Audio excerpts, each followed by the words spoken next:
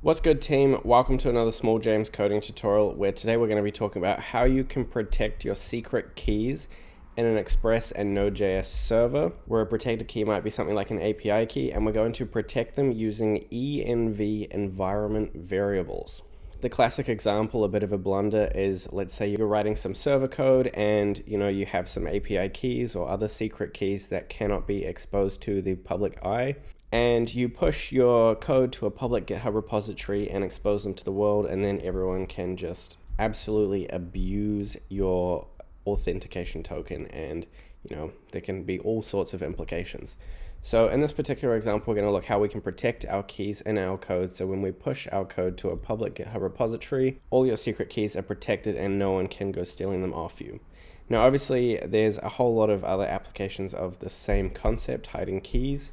But in this example, we're just going to be using the Humble API key for this tutorial. So here I have a simple Express server set up and I can start it by running npm run dev. So now our server starts up on port 8080 and I can test that it's working because at this particular endpoint, basically what I do is I read an API key from the query parameters and I turn that into a message console on the server side and return it with a 200 status as the message. So here we can simulate this HTTP request, send that request, we get a 200 response, and the API key is secret code. We can see that that's what I set it to just there. So now let's say, for example, I wanted to have something like a secret key is equal to James is cool, for example.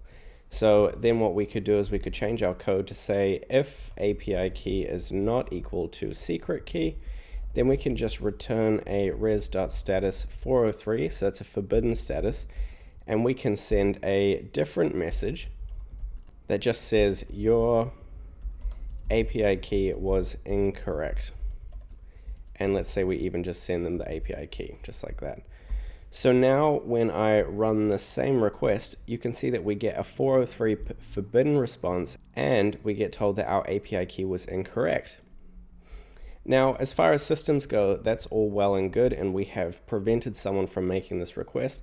But once again, if this code was in a public GitHub repository, you know, that can have all sorts of great applications. For example, if you want other people to contribute to the code or you just want to have open source code, suddenly they can just look through our server.js file and see that the required secret key or the API key is James's cool, and then they can just copy it, paste it into their request, push send, and now their request goes through and they've essentially invalidated our authentication implementation. So the solution to our problem here is multi-part. The first is a beautiful package called dotenv. So I'm going to type npm install dotenv just like that. And now that we have that package, we can require that package dotenv just like that and call a config method to configure it in our server. And the second thing we're going to do is create a .env file to store our environment variables in. Now that we have that, we can run our server again.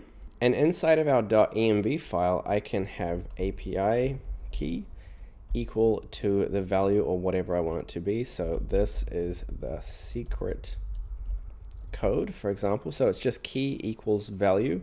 You can have multiple ones of this. So I could have API key 2 is equal to banana muffin, just like that.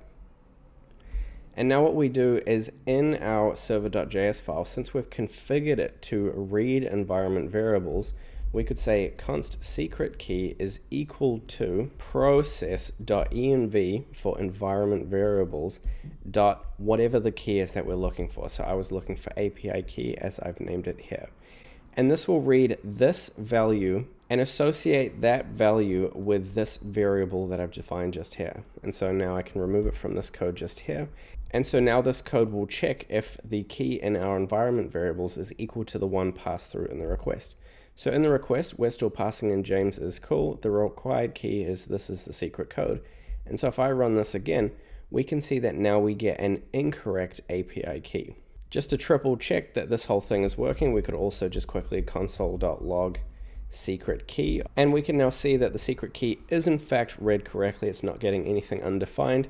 And so as I mentioned before, you could just save as many secret keys as you wanted to for whatever configurations you have to set up in here for anything that you just don't want the public to be seeing. The last thing we need to make sure that we do is define a .gitignore, just like that. And in here, we have to make sure that we add our .env file because you could very well just end up pushing this file to your public GitHub repository, in which case people could just go ahead and read the keys from this file instead of straight from your server.js. And so we just have to make sure that it's ignored from the GitHub repository so that it never gets pushed to the GitHub repository. And when you go to host and deploy these applications that require these, these environment variables, there's often a method to set the environment variable once again in the deployed application. That is if the .env file is insufficient. But anyway, that's pretty much it. That's how we can protect keys in our Express Node.js servers. This concept applies to a lot of different frameworks. Most have their own way to read environment variable keys. But yeah, ultimately we just want to keep keys secret inside of environment variable files and make sure that we don't go dogging ourselves and exposing ourselves to the hacker man. Thanks for watching. If you've enjoyed the video, please like and sub. Consider hitting the notification bell and I will catch you guys in the next one. Peace.